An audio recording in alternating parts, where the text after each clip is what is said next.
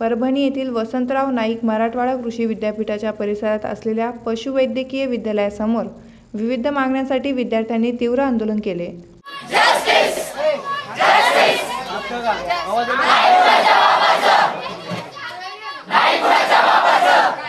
पशुविकास अधिकारी L D O पदावर L S S ही दहावीनंतरची पदवी उत्तीर्ण असल्यांना पदोन्नती देण्यात येणार असल्याचा निर्णय शासनाने घेतला आहे. शासनाच्या या धोरणामुळे पशुवैद्यकीय क्षेत्रातील पदवी पदव्युत्तर शिक्षण घेतलेल्या विद्यार्थ्यांवर अन्याय होत आहे. तेरा मार्च रोजी परभणी येथील वसंत नाईक मराठवाडा कृषी विद्यापीठाच्या परिसरात असलेल्या पशुवैद्यकीय महाविद्यालयासमोर विद्यार्थ्यांनी तीव्र आंदोलन केले. पशुसंवर्धन विभागातील अधिकारी पदावर नियुक्ती मिळण्याकरिता संबंधित क्षेत्रातील पदवी आणि पदव्युत्तर पदवी आवश्यक आहे. असे असतानाही एल एस एस हा दहावीनंतर असणारा पदविका अभ्यासक्रम पूर्ण केलेल्या व्यक्तीची नियुक्ती करण्यात येणार असल्याचा निर्णय शासनाने घेतला आहे. पशुवैद्यकीय पदवी पदव्युत्तर शिक्षण घेऊन रोजगार मिळत नसल्याने या क्षेत्रात प्रचंड प्रमाणात बेकारी निर्माण झाली आहे. शासन पशुसंवर्धन विभागातील जागा भरण्यास तयार नाही परंतु रिक्त होत असलेल्या जागावरही एल एस एस पदवीधारकांना थेट पशुसंवर्धन अधिकार पदावर नियुक्त करणे ही बाब अन्यायकारक असल्याने विद्यार्थ्यांकडून तीव्र आंदोलन करण्यात येत आहे. सकाळी दहा वाजता न्याय हक्काच्या घोषणा देऊन टायर जाळून विद्यार्थ्यांनी संप व्यक्त केला. आज आमचा स्ट्राईकचा सातवा दिवस आहे.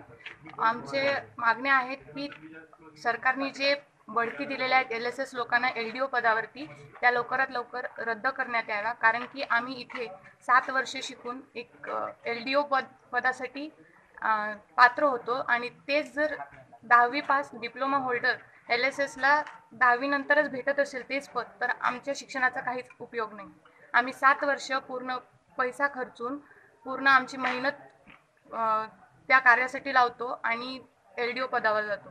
तर त्या माग त्या बढती जे केलेल्या आहे स सरकारने त्या रद्द करण्यात याव्या आणि आय व्ही सीचा नाईन्टीन एटी फोरचा ॲक्ट शंभर पर शंभर टक्के लागू करण्यात यावा हे आमच्या दोन मागण्या त्यानंतर जिल्हाधिकारी यांना निवेदन देऊन शासनाने सदरील निर्णय अकरा मार्च रोजी घेऊन पशुसंवर्धन विभागाने आचारसंहितेचे उल्लंघन केल्याचा आरोपही करण्यात आला. त्यामुळे शासनाने हा निर्णय त्वरित करावा अशी मागणी केली जात आहे. शिक्षण जे आहे याच कॉलेजमध्ये झालेलं आहे. माझं पदवीचं शिक्षण पूर्ण मी लोन घेऊन शिकलेलं आहे. माझ्या अंगावर सध्या अडीच लाख रुपये बँकेचं लोन आहे. State Bank of India Umarkhed या ब्रँचचं एवढं शि लोन वगैरे घेऊन आम्ही हे शिक्षण घेत आहोत. आमचे सात आठ वर्ष आम्ही वेस्ट करत आहोत. जर आम्हाला जर हे माहीत पहिलेच होतं की एल एस एस करून जर एल डी ओ भेटत असेल तर आम्ही पहिले तेच केलं असतं. आमचे कशाला एवढे पैसे वेस्ट गेले असते आणि कशाला आमचे एवढे वर्ष वाया घातले असते? सरकारला एवढीच विनंती आहे. एकोणीसशे चौऱ्याऐंशीचा ॲक्ट विषय जे आहे ते कम्प्लिटली शंभर टक्के लागू करावा. आणि हे जे प पद पद काढलेलं आहे एल एस एस लोकांना पदोन्नती दिलेली आहे लवकरात लवकर रद्द करावी एवढी आमची मागणी आहे.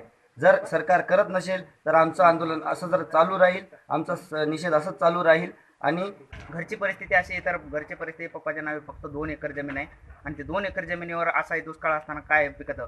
अशा परिस्थिती हलकीच्या परिस्थितीत असताना सुद्धा आम्ही हे डिग्रीचं शिक्षण घेतोय. डिग्री शिक्षण घेतल्यानंतर दोन वर्ष पी जीचं शिक्षण घेतोय आम्ही पदव्युत्तर शिक्षण. एवढं सात वर्ष जाऊनही जर आमच्या हक्काच्या जागा जर आम्हाला भेटत नसतील एल डी ओच्या तर मग एवढं शिकून फायदा काय असं मला शासनाला प्रश्न विचारावा वाटतो. जर दहावी बेस दहावी पास केलेलं तुम्ही एल एस एस लोकांना डायरेक्ट प्रमोशन म्हणून एल डी ओपदी बसवत असाल तर आम्ही सात वर्ष शिक्षणात येऊ खर्च खर्च आणि वय घालेलं त्याचं काय करायचं? आज परिस्थिती अशी आहे की शेतकरी दुष्काळाने जात आहे आणि शेतकऱ्यांच्या मुलावर ही परिस्थिती येत आहे तर मग शेतकऱ्यांनी पाहायचं कोणाकडे आणि विद्यार्थ्यांनी करायचं काय? शेतकऱ्यांनी जर जो अवलंबत आहे तो पर्याय शेतकऱ्यांनी आत्महत्येचा तोच पर्याय शेतकऱ्यांच्या मुलांनाही अवलंबायला लावतं हे सरकार असं मला वाटतं. याविषयी मला शा सरकारने शासनानं लवकरात लवकर हे जे प्रमोशन दिलेले पद एल डी ओचे ते लवकरात लवकर रद्द करावीत असं मी शासनाला विनंती करतो. या आंदोलनात डॉक्टर गोपाल चव्हाण आनंद चौधरी अभिजित माने सुनील लोंगणे राजेश शेट्टी यांच्यासह विद्यार्थी सहभागी होते.